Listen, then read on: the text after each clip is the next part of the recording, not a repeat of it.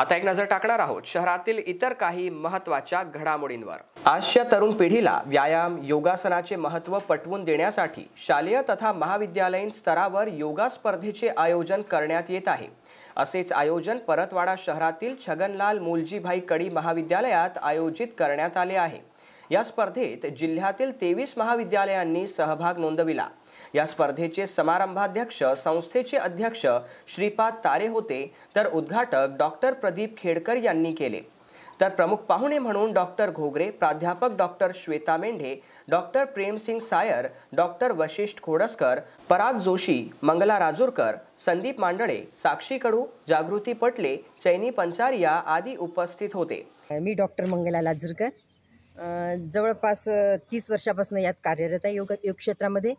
आणि जजिंगचं काम म्हणाल तर तुम्ही आम्ही स्थानिक लेव्हलवर म्हणजे स्टेट स्टेटला जायच्या अगोदर जिल्हा लेवलवर जवळपास तीस वर्ष झालेले आहेत मला.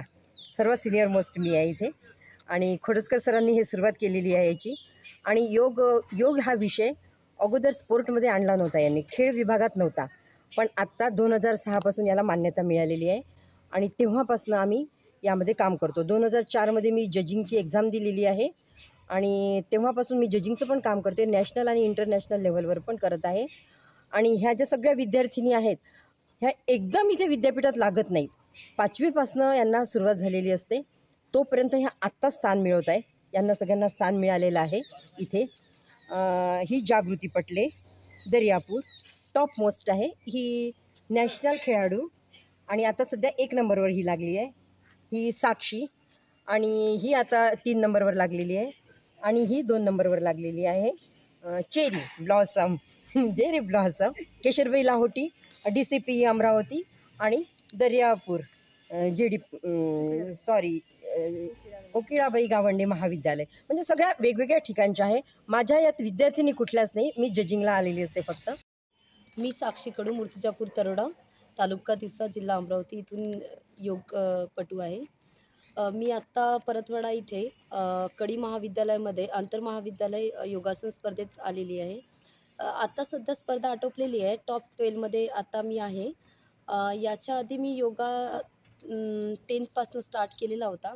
बट थोडं फायनान्शियली आणि काही टीचर्स लोकांचा सपोर्ट नसल्यामुळे मी तिथे स्टॉप करून दिलं. माझी जिद्द तर खूप होती पण सपोर्ट नाही मिळाला.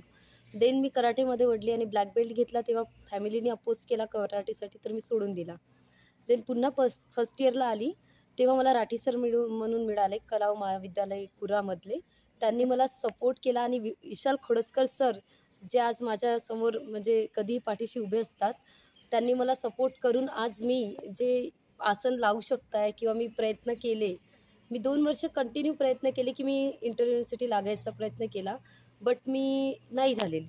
टॉप सिक्समध्ये पण नाही यायची. बट मागच्या वर्षी मी टॉप थ्रीमध्ये होती आणि देन मी नॅशनल भुवनेश्वर इथे खेळली आणि त्याच्यानंतर मला संदीप सरांनी काहीही माझं बॅकग्राऊंड नसताना मी त्यांच्या कॉलेजची मुलगी नसतानासुद्धा त्यांनी मला सतत प्रयत्न करत राहिले. मला त्यांनी प्रो म्हणजे प्रोत्साहन दिलं. देन सतत माझ्या पाठीमागे नाही तू करू शकते कर तुझ्या जिद्द आहे. आणि मला मागच्या वर्षी मंगला मॅडम मिळाल्या दर्यापूर इथल्या डॉक्टर मंगला मॅडमनी मला कॅम्पमध्ये मला खूप भीती वाटत होती बट त्यांनी मला इतक्या चांगल्या प्रकारे मुलीसारखं समजून सांगितलं की कोणत्याही आसनामध्ये स्माईल असायला पाहिजे ज्यामुळे आज मी टॉप सिक्समध्ये पण असणार ही मला गॅरंटी आहे. तर असं खूप साऱ्या लोकांनी मला माझ्या फॅमिलीनी योगासाठी अपोज केलेला होता बट माझ्या फॅमिली आज माझ्या म्हणजे सतत सोबत असते की नाही तू कर तू ही कॉम्पिटिशन खेळ ती कॉम्पिटिशन खेळ. आज मी पोदार इंटरनॅशनल स्कूलमध्ये ॲज अ योगा टीचर म्हणून जॉब करत आहे आणि एक प्लेयर योगा प्लेयर आहे हे. मी स्वतः सिद्ध करून दाखवलं आहे आणि मी पुन्हा प्रॅक्टिस करून इंटरनॅशनल प्लेयर होण्याचा पूर्णतः प्रयत्न करणार. आणि माझी प्रॅक्टिस ही मी कधीच थांबवणार नाही. थँक्यू मी लहानपणापासून योगामध्ये म्हणजे माहिती नसताना जेव्हा पी टीचे पिरियड होत राहतात म्हणजे मी पाचवीपासून योगा करते पाचवीला पी टीचे पिरियड होते तेव्हा मॅडम बुंदेल मॅडम नावाच्या आमच्या शाळेत आदर्श शाळेमध्ये शिक्षिका आहेत. त्यांनी आम्हाला प्रोत्साहित केलं. त्यांनी आमची बॅक बेंडिंग फ्रंट बेंडिंग याच्या एक्झरसाईज घेतल्या आणि त्यातून टीम काढायच्या दरवर्षीला. त्यात मला सिलेक्ट केलं. त्यानंतर ह्या सर्वांमध्ये मला माझ्या घरच्यांनी खूप सहकार्य केलं. घरची परिस्थिती नस नसतानाहीच पप्पांनी नेहमी असं सांगितलं की काही झालं तरी तुला खेळायचंच आहे. आणि प्रो मुलासारखं राहायचं कारण की आम्ही दोघीच बहिणी असल्यामुळे मी लहान आहे तर मुलासारखं राहायचं आहे सांगितलं. आणि नेहमी प्रोत्साहित करत राहिले. आणि मला आता मी सध्या नुकत्याच नेपाळ इथे झालेल्या इंटरनॅशनलमध्ये गोल्ड मेडलिस्ट आहे. त्यामुळे मला सध्या सर्व श्रेय माझ्या शिक्षकांना आणि माझ्या घरच्यांना द्यायचे आहे. यावेळी सर्वांनी योगाचा सराव करून योगातून निरोगी राहण्याचा संदेश दिला. Vijay Kakade R C N news Paratwada.